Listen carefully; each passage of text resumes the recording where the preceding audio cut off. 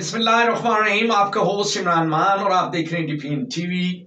और आज मेरे स्टूडियो में एक बार फिर डिस्ट्रिक्ट बार एसोसिएशन से एक मेरे भाई हैं। बहुत दिन पहले मैंने कभी सेक्रेटरी और कभी सदर और मेरे पास काफ़ी सारे मेम्बरान भी जो हैं, डीबी के आते रहे। और आज मेरे साथ एक बहुत ही प्यारे मेरे भाई भी हैं और वो पहले 2018 में जॉइंट सेक्रेटरी भी रहे हैं। डिस्ट्रिक्ट बार एसोसिएशन से। और अब फिर वो पंजाब आजमाई के लिए मैदान में उतर रहे हैं और वो चाह रहे हैं कि 2023 में वो सेक्रेटरीशिप के लिए आए। तो मेरे साथ बहुत ही प्यारे पोलाइट और बड़ी ही प्यारी शख्सियत जो हैं जनाब फ़हीम सफदर साहब मेरे साथ हैं। वालेकुम। अस्सलाम। मान साहब बहुत शुक्रिया। अल्लाह पाक का करम एहसान है तो फहीम भाई कैसे ये अब आपने पहली जो प्रैक्टिस अपनी कर ली है तो उसके बाद कैसे आप महसूस कर रहे हैं कि दोबारा इस अखाड़े में आपने उतरने का इरादा कर लिया? इतना टफ टास्क है। जी सबसे पहले तो मैं डीपीएन चैनल और जनाब मान साहब को शुक्रगुजार हूँ। अपनी तरफ़ से भी शुक्रिया अदा करता हूँ और डीबीए फैसलाबाद की तरफ़ से भी। क्योंकि इस चैनल ने हमेशा भाइयों जैसा सलूक किया डीबीए फैसलाबाद के साथ। प्रमोट किया हमारे इलेक्शन को, भाइयों को प्रमोट किया। मान साहब नो डाउट ये एक बड़ा मुश्किल काम है। और 2018 में जैसा कि आपने फरमाया कि मैं जॉइंट सेक्रेटरी रहा, बड़ा टफ कंपटीशन था तब भी। लेकिन जब आपके दिल में कुछ करने का जज्बा होता है, दोस्तों की खिदमत करना, करने का, अपनी सोसाइटी की खिदमत करने का जज्बा होता है, फिर कुछ मुश्किल नहीं लगता। इरादा पक्का है। इरादा पक्का है जी इंशाल्लाह अल्लाह को अच्छा आ, मैंने भी बहुत सारे इलेक्शन देखे फैसलाबाद के। तो इसमें आ, मैं देखता हूँ कि बरादरी इज्म और बरादरी कार्ड्स बहुत खेले जाते हैं।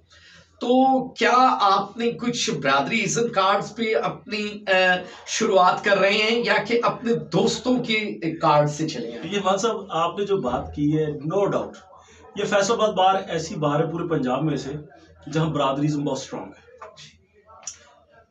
नो डाउट बरादरी सारी भी मेरे साथ है लेकिन जो मेनली मैं फोकस कर रहा हूँ मैं अपने दोस्तों पे कर रहा हूँ अपने ग्रुप पे कर रहा हूँ अपने वुकला भाइयों पे कर रहा हूँ। यानी आपकी जो पावर्स है आपका कहना है कि आप वुकला की ताकत के साथ आगे आएँगे और आप कार्ड नहीं खेलना चाहते बल्कि आपके कार्ड सारे जो है आपकी वुकला के मेरे भाई है। मेरी वुकला कम्युनिटी है। क्या बात है? ये तो वैसे आपने बड़ी प्यारी बात की है कि आप बरादरीज्म से वो बरादरी तो एक है ही है लेकिन उससे हाँ। निकल कर अगर वो क्ला को पूरी कम्युनिटी के साथ लेके चले तो मेरा ख्याल एक ज़्यादा मज़ा साहब मैं समझता हूँ कि वकील की कोई बरादरी नहीं होती। वकील की बरादरी काला कोट होती है। क्या बात है क्या तो हर वकील भाई जो है वही मेरी बरादरी वही मेरा रिश्तेदार है वही मेरा अज़ीज़ है।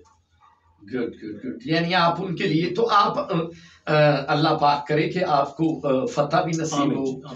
तो उसके बाद आपका सबसे पहले क्या होगा कि आप क्या चेंजिंग कोई आपके दिमाग में कोई विजन कोई चीज़ आपने बनाई हुई है कि यार मैं अगर सेक्रेटरी जीत जाता हूँ तो उसके बाद मैं ये कहूँ मान साहब यकीन जाने कि वकला कम्युनिटी के लिए करने वाले इतने काम हैं कि मैं उसकी लिस्ट गिनवाना शुरू कर दूँ तो प्रोग्राम का टाइम खत्म हो जाएगा। नौजवान में तो वैसे भी शॉर्ट जी जी जी जी मैं वही अर्ज़ करता हूँ। नौजवान वकला के लिए इतने करने वाले काम हैं बुज़ुर्ग वकला के लिए इतने करने वाले काम हैं।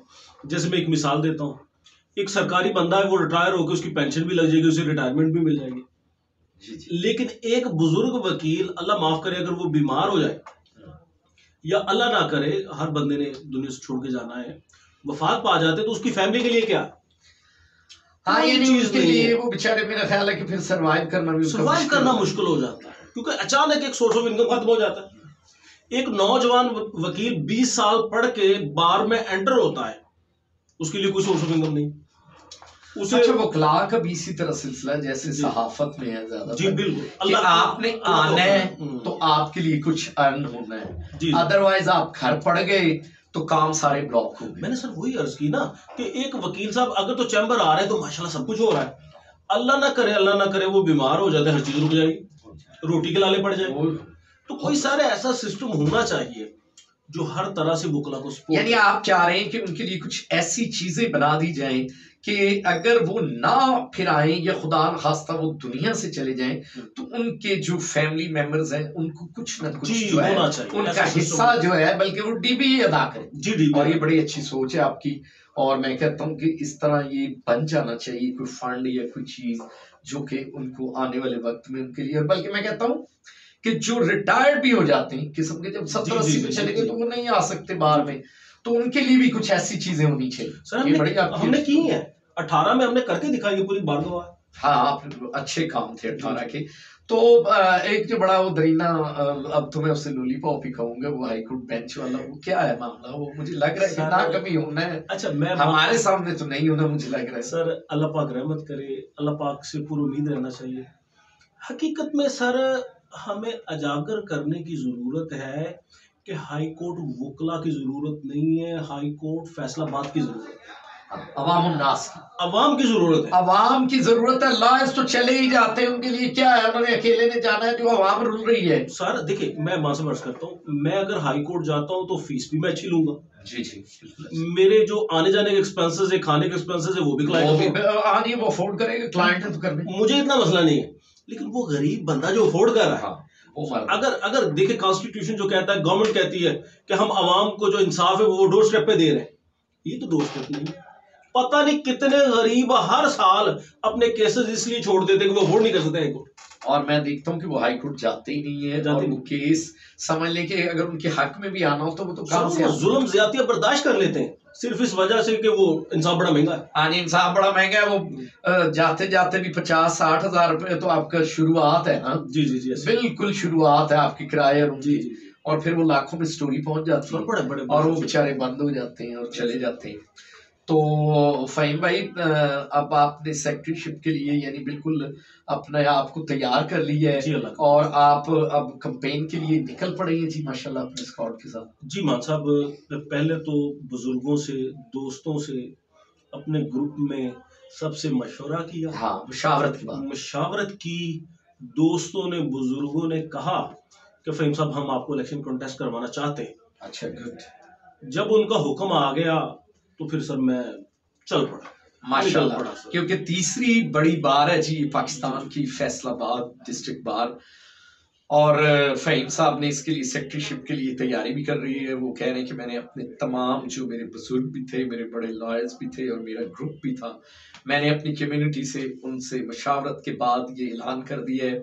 तो फहीम भाई थैंक यू वेरी मच बहुत शुक्रिया। आपने हमें टाइम दिया। इंशाल्लाह ताला अब आपने जीतने के बाद भी हमें इंटरव्यू अपना देना है। और वीवर्स आज हमारे साथ थे फहीम सफ्तर साहब जो कि सेक्रेटरी बार के लिए 2023 के लिए मैदान में उतरे हैं और हम इनके लिए दुआ गो रहेंगे कि अल्लाह पाक ने कामयाबियाँ दे। थैंक यू वेरी मच अपने होस्ट इमरान मान को इजाज़त दीजिए। अल्लाह